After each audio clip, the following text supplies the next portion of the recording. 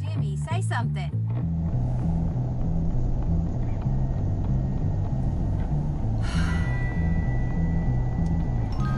What? What am I supposed to say? Don't give me that attitude, mister. That's exactly why I'm bringing you to this school.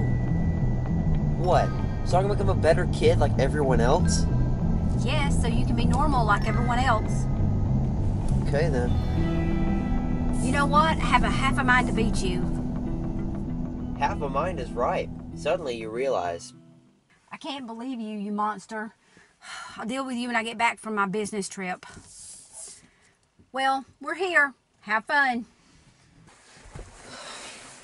Whatever.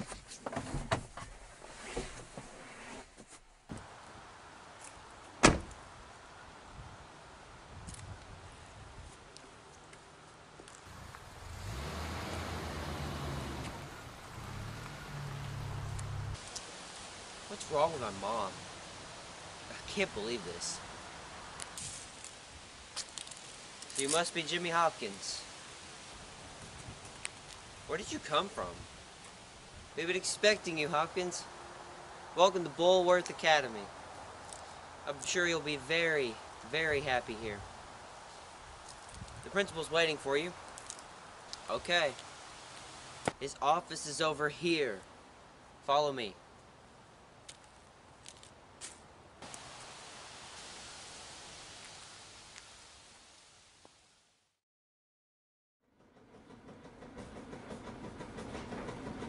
Ah, yes.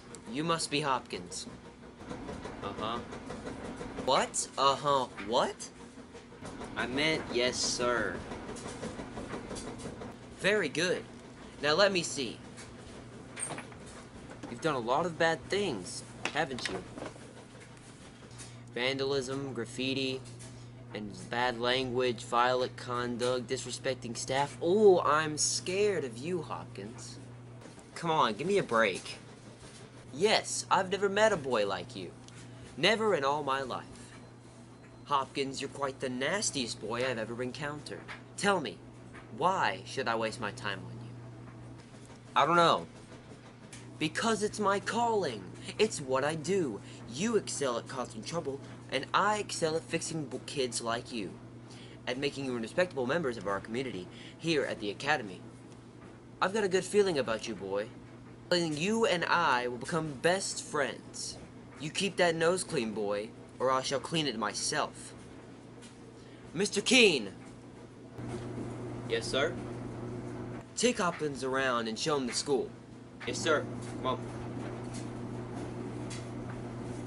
And remember, boy, keep that nose clean. Remember that.